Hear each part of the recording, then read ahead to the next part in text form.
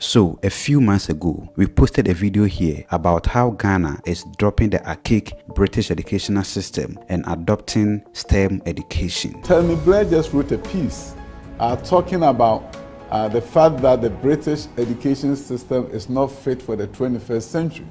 But before Tony Blair wrote this piece, we've been talking about um, the 21st century education. We've been talking about the fourth industrial revolution and why we need to tweak, change, transform our high school curriculum uh, to ensure that we can meet the goals of the 21st century.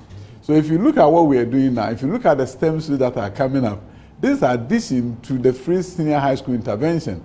Now we are creating a better opportunity for young men and women to go to high school and get quality education that they could not get in 2017. High school? So explain that to us. Uh, well, uh, explaining means we have uh, STEM high schools under construction in this country. What is that, STEM high schools? Uh, science, technology, engineering, and mathematics. You see, in the 21st century, it's no longer the issue of just going to school. What you study whilst you are in school is so critical. You know, we have always trumpeted in this country the idea of uh, getting 60% of our students to do STEM or science-related courses at the university and 40% doing humanities. Mm -hmm. But if you look at the data, I think we were probably kidding around because how do you get 60% to do um, science or STEM related courses at the university when at the high school only 12.5% are doing science? Mm -hmm. And especially in a country where if you do not do science. So these STEM schools you are building, mm. are you attaching it to Wesley Girls Presec or, or Kopoko? What, what, how is it? Is it more schools you're adding?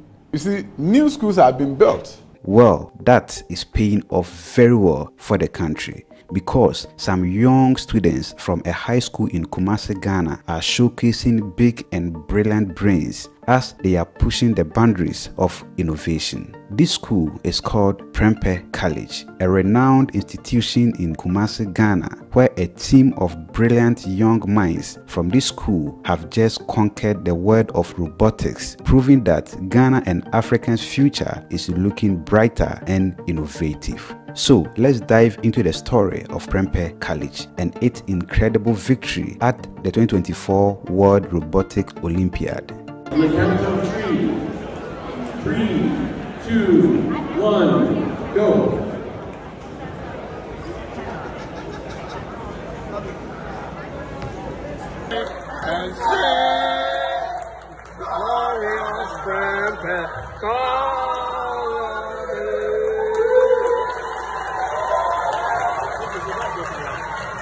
The World Robotic Olympiad, WRO, is a global robotics competition designed for young people.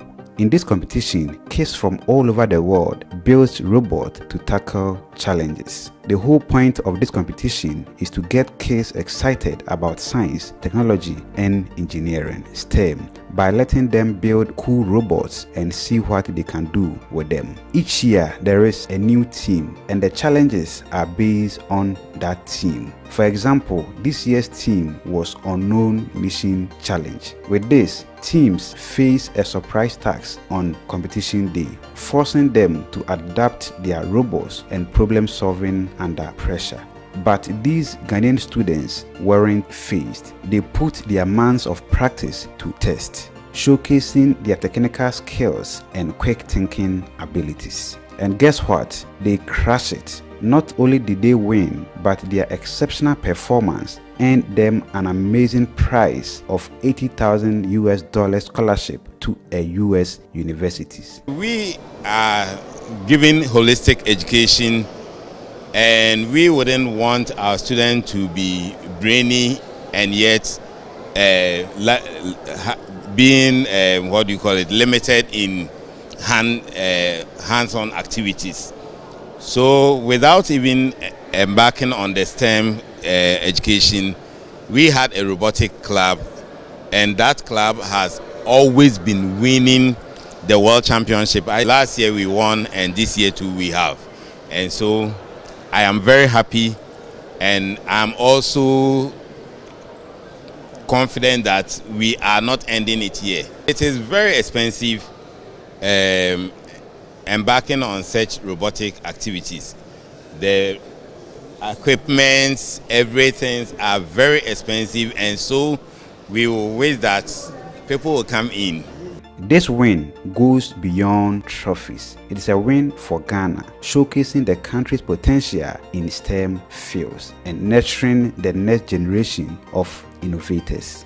This Prempeh College story is an inspiration. It shows what happens when you combine talented students, dedicated teachers, and a supportive environment. They are a beacon of excellence, proving that with hard work, anything is possible. So, the next time you think of Ghana and Africa, think not just of its rich mineral resources, but also of its bright young minds ready to make Mama Africa the greatest among others. So, that is all for today's episode. Please let us know your thoughts and suggestions on this in the comment section below. My name always remains Sheriff Haruna. Have a joyful life and see you in the next one. Glorious